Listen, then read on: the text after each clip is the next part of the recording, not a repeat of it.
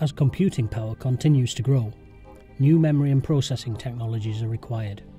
Crosspoint memory technology is a new and promising starting point for next generation memory applications, in particular when combined with artificial intelligence. In advanced science, Professor Huaqiang Wu and Professor Bin Gao from Tsinghua University, Professor Peng Zhou from Fudan University, and their co workers set out to improve the current drawbacks of crosspoint memory using highly ordered silver nanodots in the crosspoint memory arrays.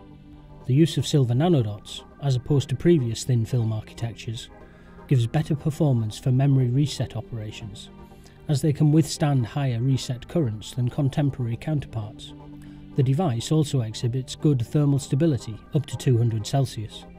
The fabricated device has demonstrated very high performance, including being electroforming free and having very high selectivity with an on off ratio of 10 to the power of 9.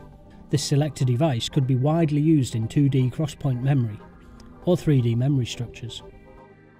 To find out more about crosspoint memory arrays, please visit the Advanced Science homepage